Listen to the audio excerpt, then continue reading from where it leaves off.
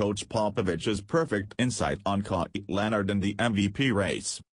Kawhi Leonard is getting more and more support for a run at the NBA's Most Valuable Player award, but San Antonio Spurs head coach Gregg Popovich doesn't have time for that discussion.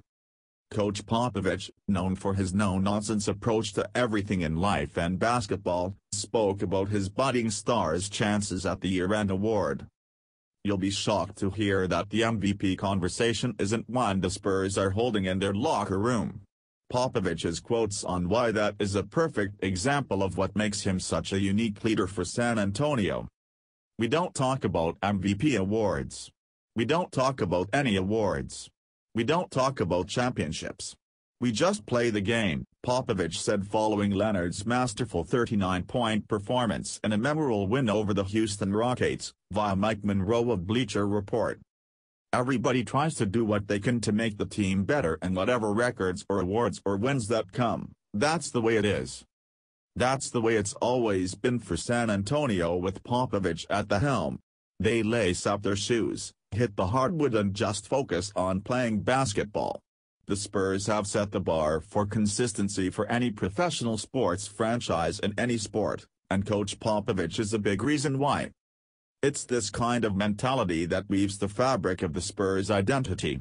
San Antonio doesn't let outside noise dictate their club, focused only on being the best they can internally. That focus has generated amazing success over the last two decades. Leonard, meanwhile, has been a marvel to watch. His steady growth after being acquired by the Spurs in a draft day trade has been nothing short of amazing, and he's clearly stepping into the role Tim Duncan filled in San Antonio for years. He absolutely should be in the mix for the NBA's MVP award, but don't expect Popovich and the Spurs to try and persuade voters. It's not king of the prom, Popovich said of the MVP voting process going on to disparage the lengths teams go to market why their star should win the award. I believe that people who vote for it vote based on criteria that are logical and appropriate and I don't think they need to be politic and talk to and stroke to do what they need to do.